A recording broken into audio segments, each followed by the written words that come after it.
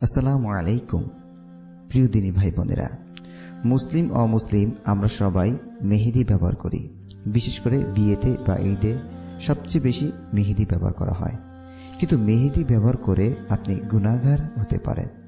আপনাকে কঠিন আজাবের সম্মুখীন হতে হবে। সারা মাসের সিয়াম করেও লাভ হবে না। সামান্য মেহেদি লাগানোর কারণে আমরা অনেকে এই পদ আমলকে মূল্য দেই না।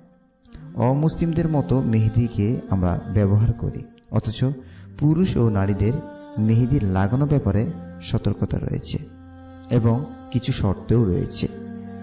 আগে আমরা জেনে নিই যে মহিলারা মেহেদি ব্যবহার করতে পারবে কি না এ ব্যাপারে আবু দাউদ শরীফে একটি হাদিস রয়েছে। আর আশা রাজত্র আনাহার কাছে এক মহিলা এসেছিল যে মেহেদি লাগানো যাবে কিনা। তখন উত্তরে হজরত আয়সা রদরতান আনহা তিনি বলেছেন, নারীদের মেহেদির ব্যবহারে কোনো মানা নেই। তবে রসুলাম মেহেদির ঘ্রাণ অপছন্দ করতেন। সুতরাং এরই মাধ্যমে আমরা বুঝতে পারি যে মহিলারা মেহেদি নিশ্চিন্তে ব্যবহার করতে পারবে, এতে কোনো অসুবিধা নেই। এবার আসি, পুরুষেরা কি মেহেদি ব্যবহার করতে পারবে কিনা? সাধারণত বিয়ের ক্ষেত্রে পুরুষেরা বেশিরভাগ ক্ষেত্রে মেহেদি লাগায়। তো সেই ব্যাপারে রসদাল্লাহ সাল্লাম বলছেন, জেনে রেখো, পুরুষেরা এমন সুগন্ধি ব্যবহার করবে যাতে সুগন্ধি আছে, রং নেই। বিপরীত, নারীরা এমন সুগন্ধি ব্যবহার করবে যাতে রং আছে, সুগন্ধি কম। অর্থাৎ আল্লাহ রসুল সাল্লাহ সাল্লাম যা বুঝতে চেয়েছেন, সেটা হচ্ছে পুরুষেরা সুগন্ধি ব্যবহার করতে পারবে। আর নারীরা তারা মেহেদি ব্যবহার করবে, কিন্তু সুগন্ধি ব্যবহার করতে পারবে না।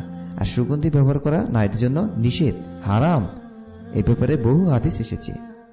আর ছেলেদের ব্যাপারে তারা সুগন্ধি ব্যবহার করবে। কিন্তু যদি আপনার অসুস্থতার কারণে বা আপনার মেহেদির মাধ্যমে আপনার শারীরিকভাবে কোনো উপকার হয়, তখন আপনি লাগাতে পারেন।